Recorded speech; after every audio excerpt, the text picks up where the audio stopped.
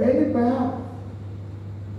It must be about competence, capacity, commitment, character, so that we can start doing the right thing.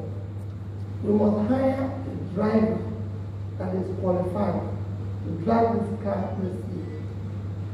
We can no longer afford somebody who is incompetent. Otherwise, we run the refugees. No country can exist like this.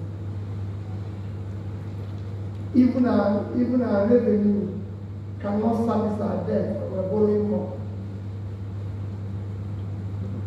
No country can exist like that. A simple thing like education. How the people came from America, so they know if you Google